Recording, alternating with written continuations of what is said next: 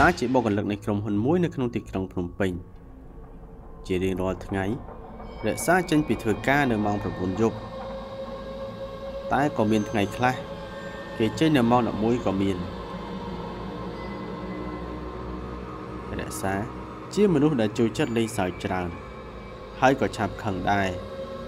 មានថ្ងៃមួយរក្សាបានធ្វើការងារដែលប្រធានក្រុមហ៊ុនដាក់ឲ្យធ្វើមិនអស់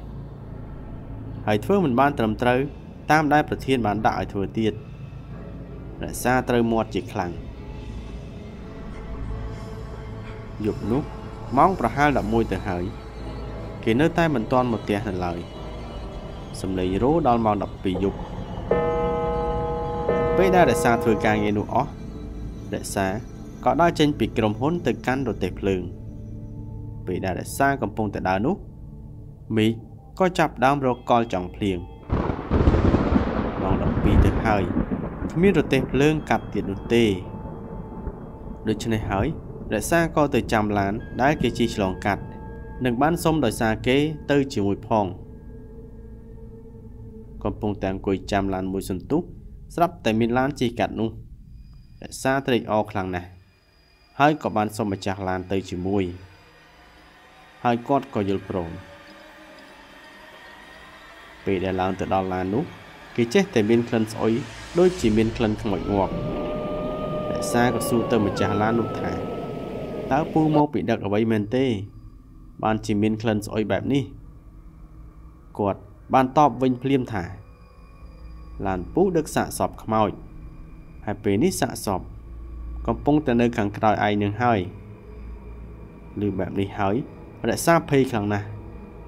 ហើយក៏បាយមកមើលខាងក្រោយខ្នង ស្រាប់តែឃើញសាកសពពិតមែនគេអង្គុយទាំងភ័យខ្លាច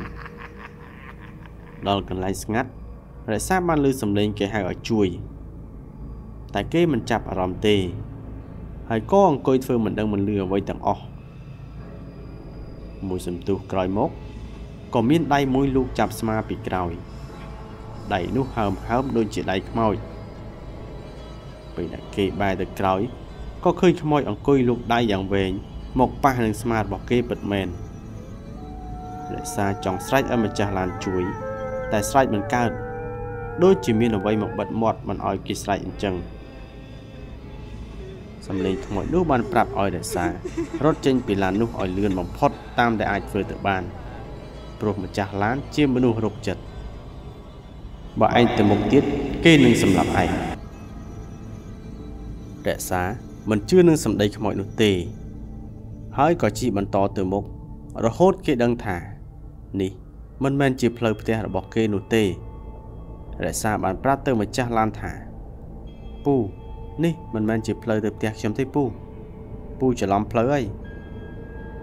ម្ចាស់ឡាននោះ មិនព្រមមាត់អ្វីនោះទេ រហូតដល់ចំការកៅស៊ូគាត់បានឈប់ឡាន ហើយក៏អូសដៃរក្សាចេញមកក្រៅភ្លាម ជាមួយនឹងរណាពូថៅកំបិតនៅក្នុងហឹបគាត់បានចងដៃរក្សាអោបជាប់នឹងដើមកៅស៊ូដែលនៅក្បែរនោះ មានសាកសពជាច្រើន ដែលដាច់ក្បាលធ្លាក់មកដី ហើយជើងក៏ត្រូវអាដាច់ចេញពីគ្នាផងដែរមិនយូរម្ចាស់ឡានបានយកកំបិតមកក្នុងបំណងនឹងកាត់ដៃជើងទាំងពីររបស់រក្សា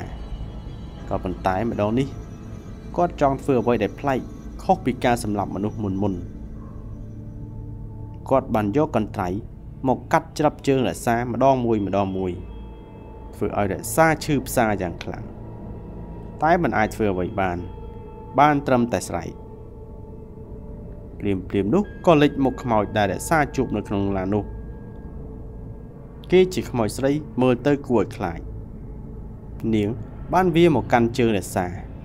ទាំងភ្នែកហូរមកដោយឈាម នាង បានធ្វើឲ្យពូម្ចាស់ឡាននោះខ្លាចរហូតរត់ចេញពីចំការកៅស៊ូទាំងដែលមិនទាន់សម្លាប់រក្សាផងពេលដែលរក្សាឃើញខ្មោចនោះហើយ គេក៏សន្លប់បាត់ស្មារតីលុះព្រឹកឡើងគេក៏កំពុងតែនៅក្នុងមន្ទីរពេទ្យហើយអ្នកដែលព្យាយាមសម្លាប់គេនោះក៏ត្រូវប៉ូលីសចាប់បាន ហើយយកទៅមណ្ឌលកែប្រែព្រោះតែពូនោះមានជំងឺផ្លូវចិត្ត ដោយសារតែមានគេសម្លាប់ប្រពន្ធកូនរបស់គាត់ទើបគាត់ខឹងហើយដើរសម្លាប់មនុស្សស្ទើរគ្រប់គ្នាបែបនេះបន្ទាប់ពីចេញពីមន្ទីរពេទ្យវិញរក្សាបានធ្វើបុណ្យឧទ្ទិសកុសលជូនដល់ខ្មោចស្រីដែលបានជួយគេនៅក្នុងថ្ងៃនោះ